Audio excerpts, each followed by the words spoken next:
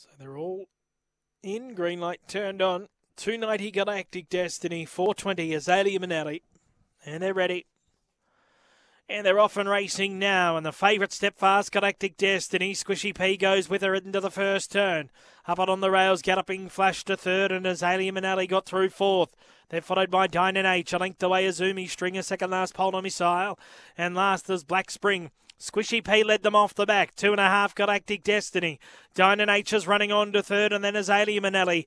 Around the turn at Squishy P, cornering a length a half. Galactic Destiny starting to charge on the outside. All made it very close. I think Squishy P maybe a nose Galactic Destiny, but there isn't much between them and Dynan H is close up back along the rails. It's a photo for fourth as well. Polar Missile getting home and Azalea Manelli.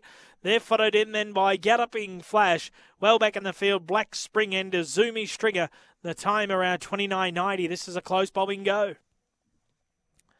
Not much in it. Squishy P and Galactic Destiny, who has charged late and made this very very close. And it has got up on the outside. Galactic Destiny, it seems. Number five first. Last stride gets up to win Galactic Destiny over three Squishy P. Third, six, eight, five, three, six. And number seven, Polar Missile runs fourth. So five, three.